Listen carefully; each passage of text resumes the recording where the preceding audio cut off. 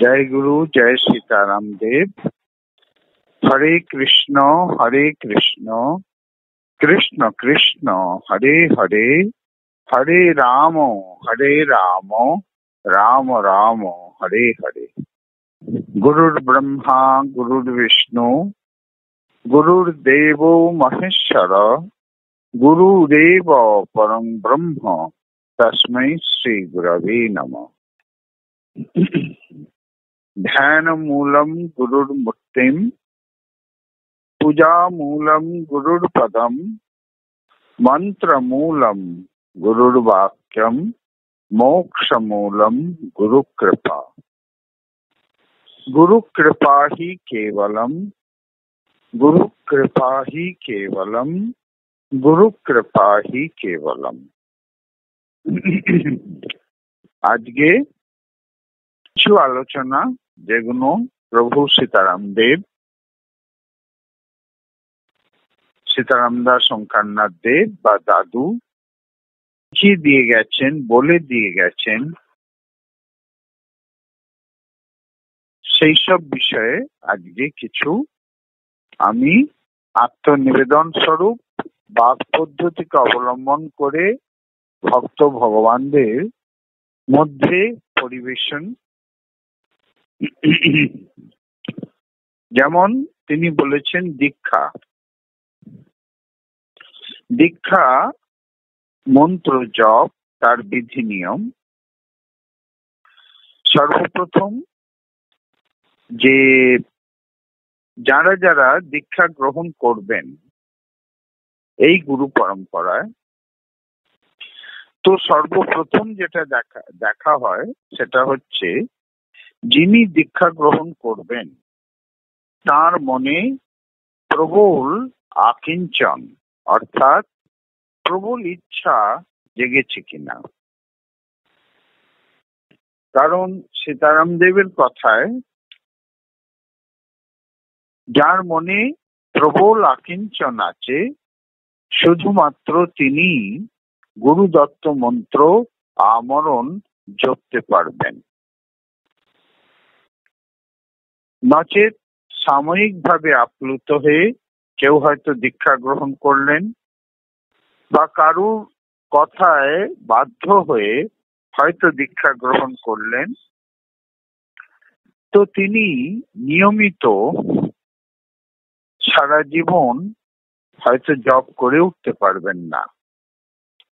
কিছুদিন পরে সেই মানসিক যে একটা প্রবল ইচ্ছা পরিস্থিতি সেটা অবলুপ্তি ঘটে যেতে পারে। সেই জন্যে দাদুর নির্দেশ রয়েছে যে যখন দীক্ষা দিবি, যখন মন্ত্রদান করবি সীতারামের হয়ে, দেখবি যিনি দীক্ষা মন্ত্র গ্রহণ করতে এসেছেন, সেই মানব বা সেই মানবী তার মনে প্রবল আকিঞ্চন রয়েছে কিনা। তো সেটা দেখার অনেক রকম পরিস্থিতিও তিনি বলে দিয়ে গেছেন।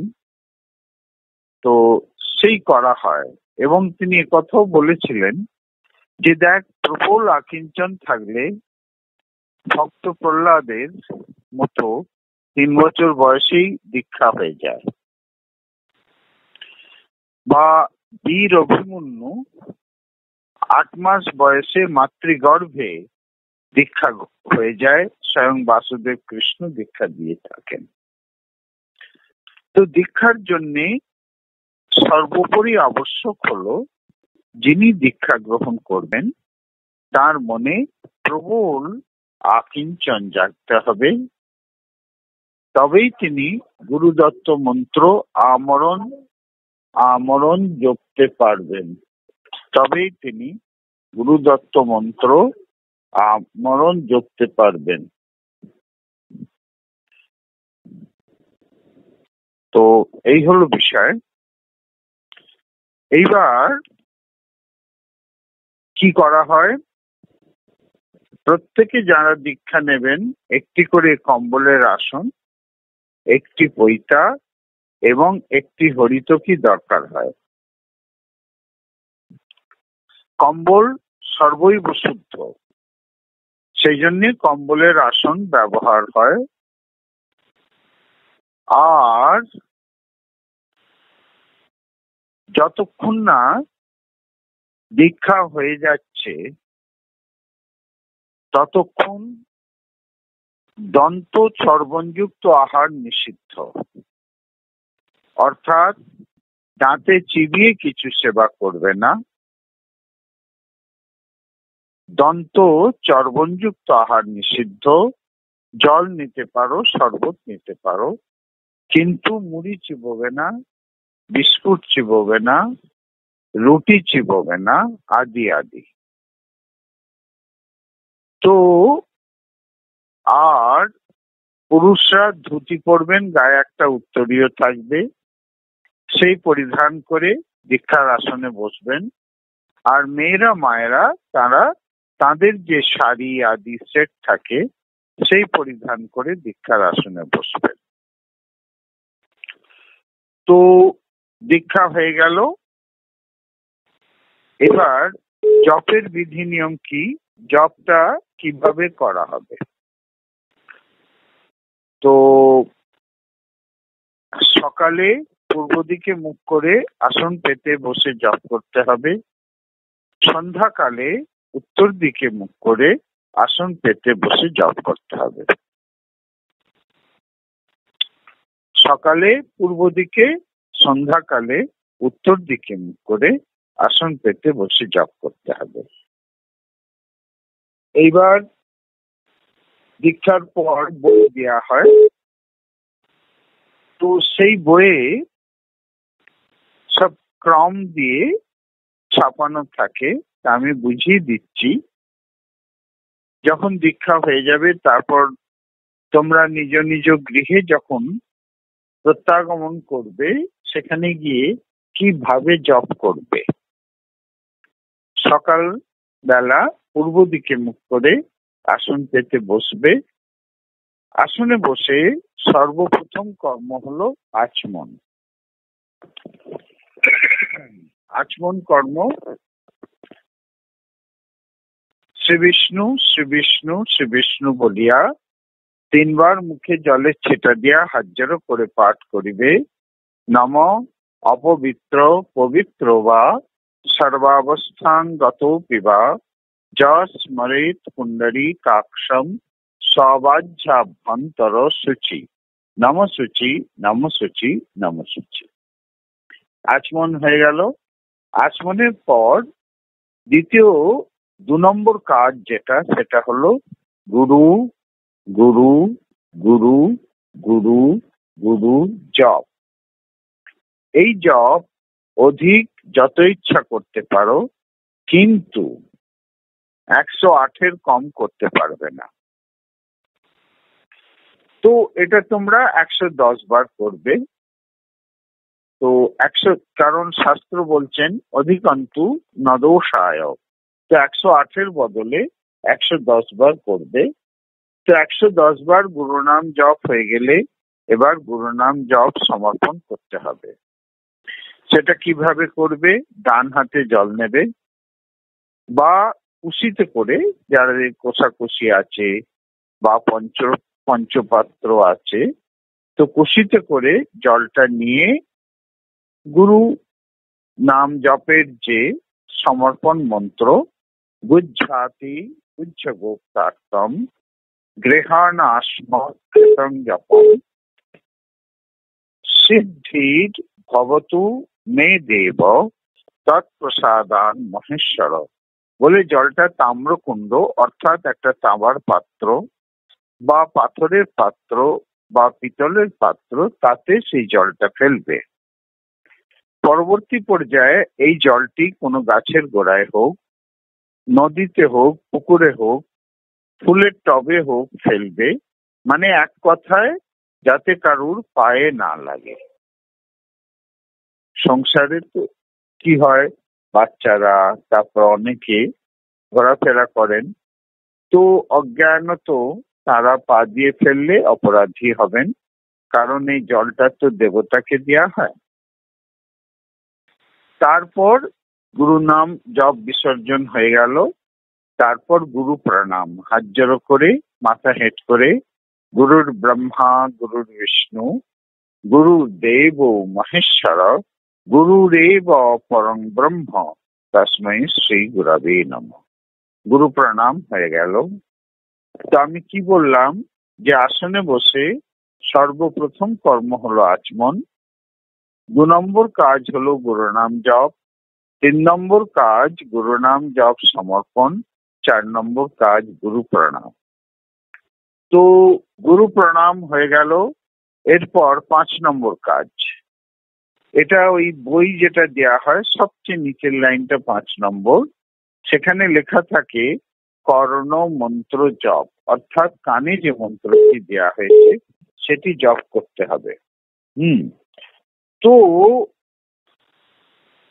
সেটা হলো ইষ্ট মন্ত্র এবার যার যেমন ইষ্ট মন্ত্র হয়, কারুর কৃষ্ণ মন্ত্র হয়, কারুর কালী মন্ত্র হয়, কারুর রাম মন্ত্র হয় মেষ মন্ত্র হয়, তো যার যেমন ইষ্ট মন্ত্র সেই একশো দশ বার ইষ্ট মন্ত্র জপ করতে হবে।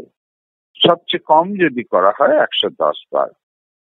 এবার একশো দশ বার যখন ইষ্টমন্ত্র জপ হয়ে গেল, তখন এইবার ইষ্টমন্ত্র জপ সমর্পণ করতে হবে। ইষ্টমন্ত্র জপ সমর্পণ, যার যেমন ধরো কারু কৃষ্ণ মন্ত্র হয়েছে, তো নিয়ম ওই একই, ডান হাতে জল নেবে বা ডান হাতে করে কুশিতে জল নেবে, নিয়ে কৃষ্ণ মন্ত্রে যে জপ সমর্পণ সেইটি পাঠ করবে। সেটি হলো গুজ্জাতি গুজ্জ গোপ্তার্তম গৃহানাশ্ম কৃতং জপম সিদ্ধির ভবতু মে দেব তৎপ্রসাদাদ জনার্দন। বলে জলটি আবার তাম্রকুণ্ডে ফেলে দেবে। কারুর হয়তো ইষ্টমন্ত্র কালী মন্ত্র তো তিনি কি পাঠ করবেন? গুজ্জাতি গুজ্জ গোপ্তৃত্বম। গৃহানাশ্মত কৃতং জপম সিদ্ধির ভবতু মে দেবী। তৎপ্রসাদান মহেশ্বরী। তো এইভাবে ইষ্টমন্ত্র জপ সমর্পণ হলো। তারপর ইষ্ট প্রণাম।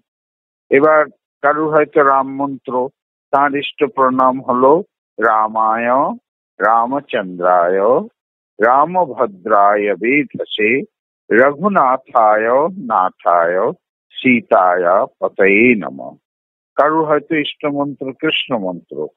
তার ইষ্ট প্রণাম হলো হে কৃষ্ণ করুণা সিন্ধু দীনবন্ধু জগৎপতে গোপেশ গোপিকা কান্ত রাধা কান্ত নমস্তুতে তো কারুর কালী মন্ত্র কালী কালী মহাকালী কালীকে পাপ হারিণী ধর্মার্থ মোক্ষদে দেবী নারায়ণী নমস্তুতে তো এইভাবে হবে ইষ্ট প্রণাম ইষ্ট প্রণাম হয়ে গেল তারপর ফের আচমন পুনরাচমন ওই একই ভাবে শ্রী বিষ্ণু শ্রী বিষ্ণু শ্রী বিষ্ণু নম অপবিত্র পবিত্র বা সর্বাবস্থাঙ্গতোপি বা স্মরেত মুন্ডলী কাক্ষম সবাজ্যাভ্যন্তর শুচি নম শুচি নম শুচি নম শুচি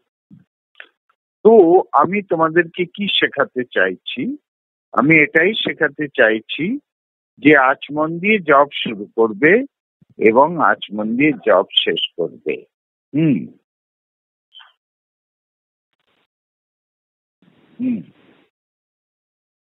আচমন দিয়ে জব শুরু করবে এবং আচমন দিয়ে জব শেষ করবে। হ্যাঁ। তো এই হলো বিষয়। এইবার আমি একবার রিভাইজ করিয়ে দিই। এক নম্বর হলো আচমন, দু নম্বর গুরুনাম জপ, তিন নম্বর গুরুনাম জপ সমর্পণ, চার নম্বর গুরু প্রণাম, পাঁচ নম্বর ইষ্ট মন্ত্র জপ, ছ নম্বর ইষ্ট মন্ত্র জপ সমর্পণ, সাত নম্বর ইষ্ট প্রণাম, আট নম্বর ফের আচমন। তো এই হলো বিষয়। তো তোমরা এইভাবে করবে জব এইবার দীক্ষার পর বলা হয়, চার লক্ষ রাম নাম লিখবে। চার লক্ষ রাম নাম লেখার খাতা প্রতিষ্ঠান থেকে দেয়া হয়। তো সেখানে সব বিধি বোঝানো হয় যে শ্রীরাম রাম রাম শ্রীরাম, রাম রাম, শ্রীরাম, রাম রাম রাম এক লাইনে নটা লেখা হয়। আর মোট ছত্রিশটা লাইন থাকে, তো ছত্রিশকে নয় দিয়ে গুণ করলে তিনশো চব্বিশ, আর তলায় মধ্যিখানে একটা অতিরিক্ত লেখা হয়, অর্থাৎ তিনশো পঁচিশ। মানে প্রত্যেক পৃষ্ঠায় তিনশো পঁচিশটা করে লেখা হয়। এইভাবে একশো পৃষ্ঠা লিখলে বত্রিশ হাজার পাঁচশো দুশো পৃষ্ঠা লিখলে পঁয়ষট্টি হাজার। তো এইভাবে কাউন্টিং অর্থাৎ গোনার কর্মটা চলবে। তো দীক্ষার পর বলা হয়, রাম নাম লিখতে বলা হয়, হইতে হর্তুকি নেওয়া হয়। এই বিধি বিষয়ে যখন সীতারাম বাবাকে, দাদুকে যখন জিজ্ঞাসা করা হয়েছিল, তো উনি বলেছিলেন, দেখ দীক্ষার পর দুটি কাজ করতে হয়। একটা হচ্ছে গুরুকে দান করতে হয়। দ্বিতীয় হলো গুরু দক্ষিণা দিতে হয়। কি বলেছিলেন? যে গুরুকে দান করতে হয় আর দ্বিতীয় হলো গুরু দক্ষিণা দিতে হয়। তো দানের মধ্যে দান হলো ফলদান আর বস্ত্র দান তো হরিতকি ফল নেওয়া হয় কারণ হরিতকি ফলকে পূর্ণ ফল বলা হয়। হরিতকি ফলের মধ্যে সর্বফলের গুণ বিদ্যমান। হরিতকি ফলের মধ্যে সর্বফলের গুণ বিদ্যমান। সেই জন্যে হরিতকি ফলকে পূর্ণ ফল বলা হয়। তো ফলদান স্বরূপ হরিতকি নেওয়া হয়।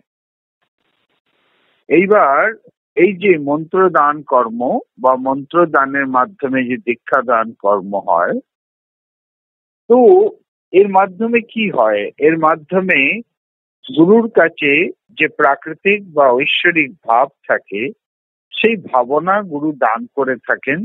তার শিষ্য শিষ্যাদের জপ করি, উপদেশ দিয়ে, কর্ম করিয়ে, সঙ্গ দিয়ে গুরু তার কাছে যে ঐশ্বরিক বা প্রাকৃতিক ভাব থাকে, সেই ভাব দান করেন। কোনো দ্রব্য দান তো হয় না। তো এই মনোভাবনাত্মক রাজ্যে শ্রেষ্ঠ বস্ত্র হলো ব্রহ্মবস্ত্র। আর পৈতে হলো ব্রহ্মবস্ত্রের প্রতীক স্বরূপ। সেই জন্য বস্ত্র দান রূপে পৈতা নেওয়া হয়। তো আমি কি বললাম? যে পূর্ণ ফল স্বরূপ পরিতকি নেওয়া হয়, আর শ্রেষ্ঠ বস্ত্র হলো ব্রহ্মবস্ত্র হইতে হলো ব্রহ্মবস্ত্রের প্রতীক। সো বস্ত্র দান রূপে হইতে নেওয়া হয়। এবার হলো গুরু দক্ষিণা। আমাদের বংশের, অর্থাৎ সীতারাম বাবা, রঘুনাথ বাবা দীনবন্ধু, আমাদের এই বংশের, সীতারাম বংশের, ইষ্টদেব হলেন মর্যাদা পুরুষোত্তম প্রভু শ্রী রামচন্দ্র তো গত একশো এগারো বছর ধরে এই বংশ থেকে দেড় কোটির বেশি ভক্ত ভগবানরা দীক্ষা লাভ করেছেন। তিন পুরুষ ধরে, তিন চার পুরুষ ধরে দেড় কোটির বেশি ভক্ত ভগবানরা দীক্ষা লাভ করেছেন। তো এদেরকে দিয়ে ইষ্ট সেবা করানো হয়। অর্থাৎ এদেরকে এই যে চার লক্ষ রাম নাম লিখতে বলা হয়, তো এদেরকে দিয়ে ইষ্ট সেবা করিয়ে নেওয়া হয় এবং এই চার লক্ষ রাম নামটা গুরু দক্ষিণার স্বরূপ গ্রহণ করা হয়।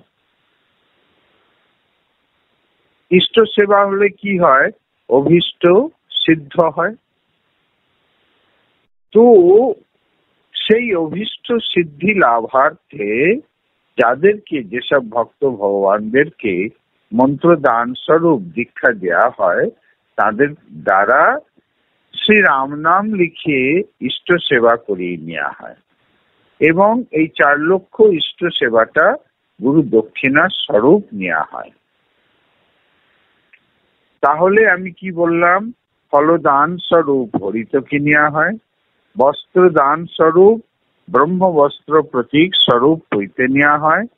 আর ইষ্ট সেবা স্বরূপ চার লক্ষ রাম নাম, গুরু দক্ষিণার স্বরূপ নেওয়া হয়। এই হলো এই গুরু পরম্পরা। ঠাকুর সীতারাম দাস ওঙ্কারনাথ দেবে দেহলীলা প্রবর্তিত গুরু পরম্পরার। এই হলো অধিনিয়ম। এইবার বিষয় হচ্ছে, তাহলে এই প্রণামী, অর্থ সেবা, এগুলো সব কি? এগুলো হলো সেবা। এবার সেবা সেবক বা সেবিকাকে দিয়ে বা ভক্তকে দিয়ে ভগবান যেমন করাবেন, সেটা ভক্ত আর ভগবানের বিষয়। গুরুর তরফে কোনো বাধ্যবাধকতা থাকে না। হয়তো কোনো জায়গায় বাধ্যবাধকতা থাকতে পারে বা আছে যে রোজ কিছু কিছু করে অর্থ রেখে দেবে এবং মাস বা বছরের শেষে গুরু সেবার স্বরূপ দেয়া হবে। কিন্তু এই ঠাকুর সীতারাম দাস শঙ্করনাথ দেবে দেহ লীলা প্রবর্তিত। এতে সেবা স্বয়ম্ভূ ভাবে বা ভক্তের মধ্যে ভগবান যে সেবা ভাব আনবেন সেইভাবেই সেবা হবে। এটাই হলো প্রথা এই পরম্পরার। সেবাগত বাধ্যবাধকতা ভক্ত ভগবানদের মধ্যে চাপিয়ে দেওয়া, এটা সীতারাম দাস ওঙ্কারনাথ দেব কোনো দিনই করাননি বা চাননি।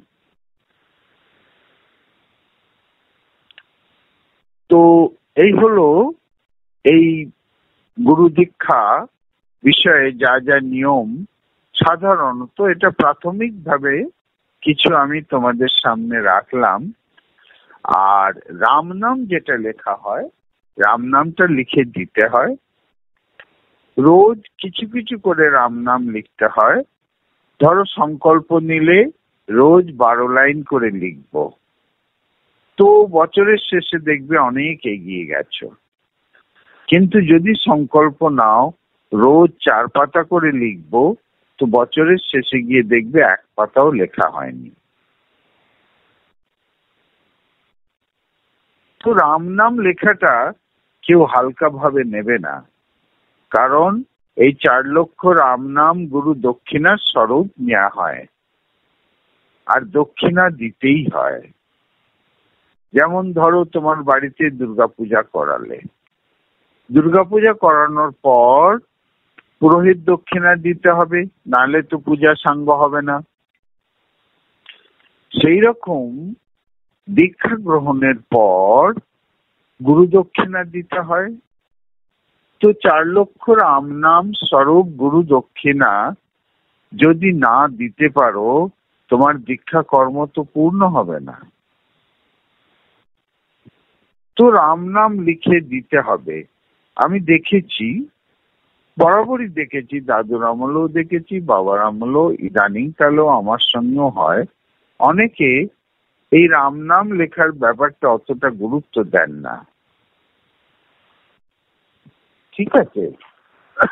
অনেকে বলে দেন, বাবা, সময় নেই, অমুক নিতা তো না, এটা ঠিক নয়। এটা ঠিক নয়।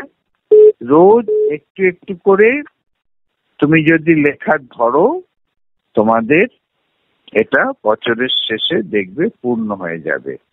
আর যখন দীক্ষা গ্রহণ করেছ, গুরু দক্ষিণা দিতেই হবে। এই হলো দীক্ষার ব্যাপার, মোটামুটি মিটল। এবার ব্রত।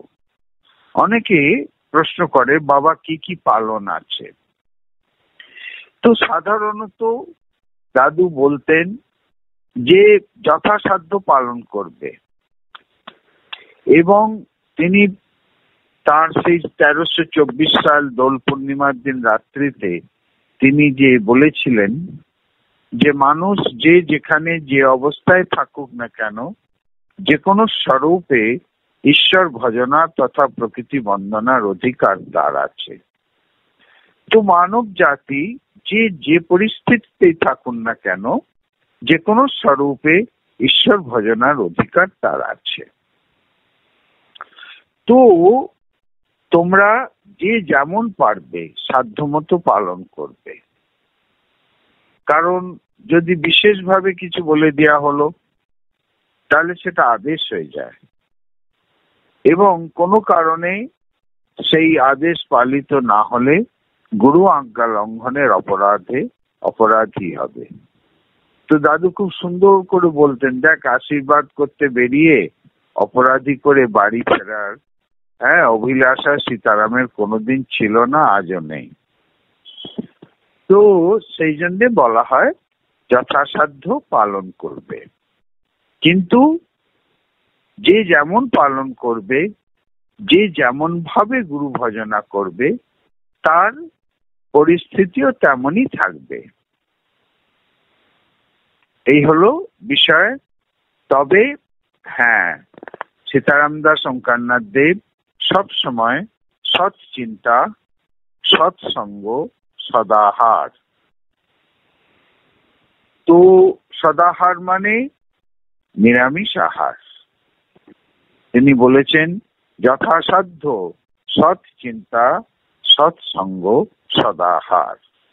কিন্তু যে অবস্থায় থাকুক না কেন, হরে কৃষ্ণ হরে কৃষ্ণ কৃষ্ণ কৃষ্ণ হরে হরে হরে রাম হরে রাম রাম রাম, হরে হরে। এই হরিনাম সংকীর্তন সব সময় করবে। তো এটা একটা দিক গেল। এইবার ব্রত পালন। যেমন জন্মাষ্টমী ব্রত, একাদশী ব্রত, বা তোমার শিবরাত্রি ব্রত। তো ব্রত পালন ক্ষেত্রে দাদু কোনো বিশেষভাবে কিছু বলেননি। তিনি শাস্ত্র কথাই বলে গেছেন। শাস্ত্রে বলছে যে যে কোনো ব্রত পালন, যিনি পালন করবেন, তার সংকল্প অনুযায়ী বিধি নিয়ম হবে। ফের বলি যে কোনো ব্রত পালন, যিনি সেই ব্রত পালন করবেন, তার সংকল্প অনুযায়ী বিধি নিয়ম হবে।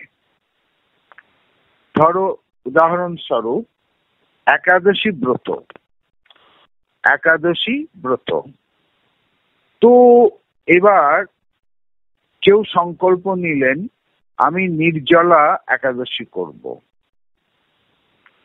তো যিনি ব্রত পালন করছেন, তার সংকল্প হচ্ছে নির্জলা একাদশী। তো সেইভাবেই সব নিয়মগুলো দাঁড়াবে। কেউ হয়তো সংকল্প নিলেন যে আমি শুধুমাত্র ফলাহার করে একাদশী ব্রত পালন করব। তো নিয়মগুলো সেই রকমই দাঁড়াবে। কেউ হয়তো সংকল্প নিলেন, আমি শুধু সিদ্ধ মানে রাঙালু সেদ্ধ, আলু সেদ্ধ, অমুক তমুক, আর দুধ, এই সেবন করে আমি ব্রত পালন করব একাদশী। তো নিয়মগুলো তেমন হবে। কেউ হয়তো সংকল্প নিলেন, আমি ময়দা আদি সেবন করে অন্ন গ্রহণ করব না, একাদশী পালন করব। তো নিয়ম আদি সেই রকমই হবে। অর্থাৎ যিনি ব্রত পালন করবেন, তার সংকল্পটাই ঈশ্বরের ইচ্ছা, সেই আধারের জন্য। এটাই শাস্ত্র কথা।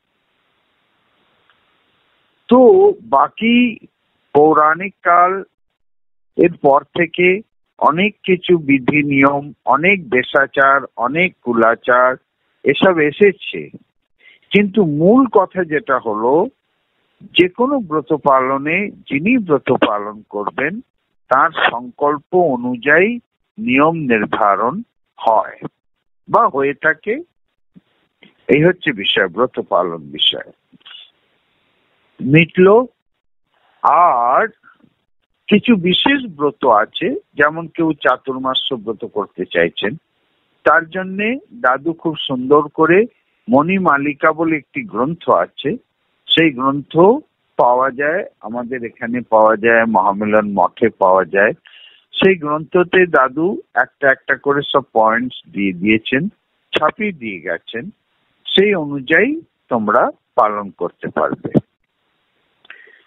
তবে শ্রেষ্ঠ যেটা উনি চেয়েছেন, সেটা হচ্ছে যে যখন তুমি দীক্ষা লাভ করবে, গুরু দত্ত মন্ত্র অবশ্যই জপতে হবে।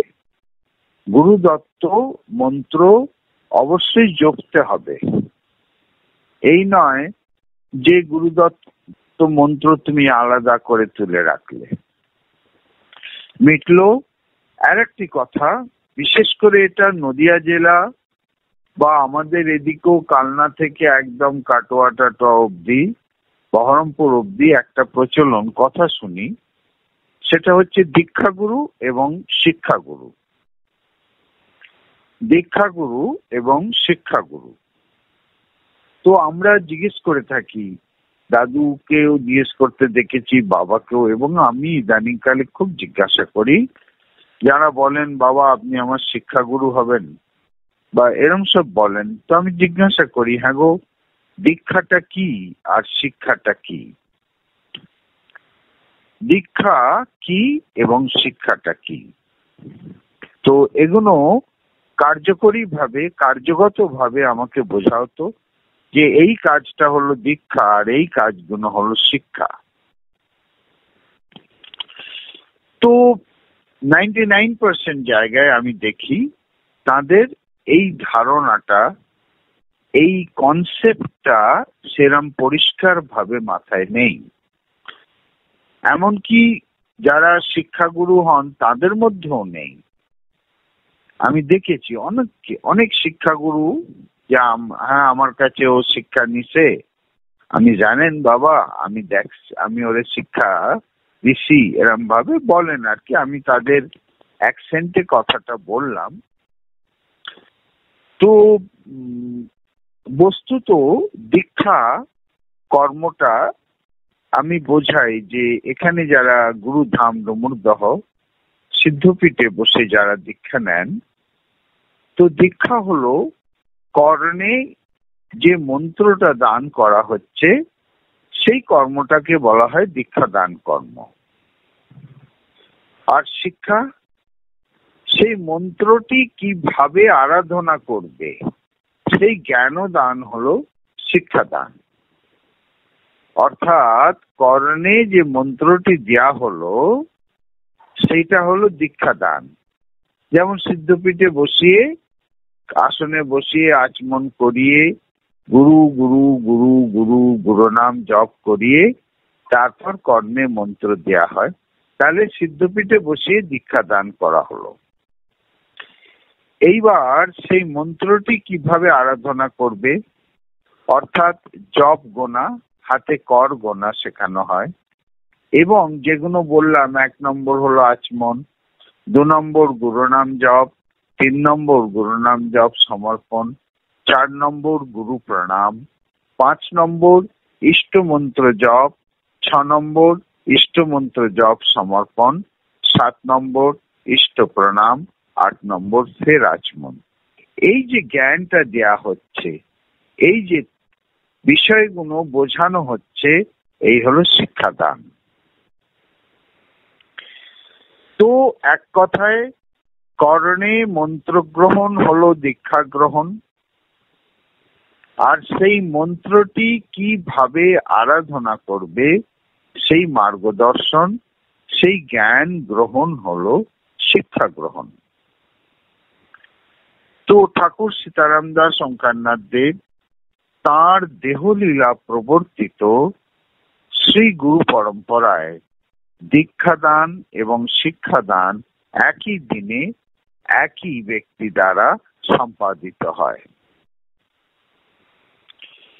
তো এই হলো বিষয়, কেউ ভ্রমে থাকবে না। অনেক সময় আমি দেখেছি, এখানে এসে মন্ত্র গ্রহণ করার পর, বিশেষ করে এই নদিয়া জেলা আর এই দিকগুলো, তারা এসে বলে, বাবা, আমাকে ওখানে জিজ্ঞাসা করছেন কেউ যে তুমি দীক্ষা তো নিয়েছো, শিক্ষা নিয়েছো? চলো আমার কাছে এসে শিক্ষা নাও। তা নয়, আমি তাদেরকে বোঝাই যে জিজ্ঞাসা করবে দীক্ষা কি? এবং শিক্ষা কি? তারপর তাদেরকে বলবে যে আমার গুরু পরম্পরায় দীক্ষা গ্রহণ এবং শিক্ষা গ্রহণ একই দিনে একই ব্যক্তি গুরুর স্বরূপে বা গুরু প্রতিনিধির স্বরূপে সম্পাদন করে থাকেন। এটাই হলো গুরু পরম্পরা। জয় শ্রী গুরু মহারাজ জিউ কি জয়? জয় শ্রী গুরু মহারাজ জিউ কি জয়? জয় শ্রী গুরু মহারাজ জিউ কি জয়?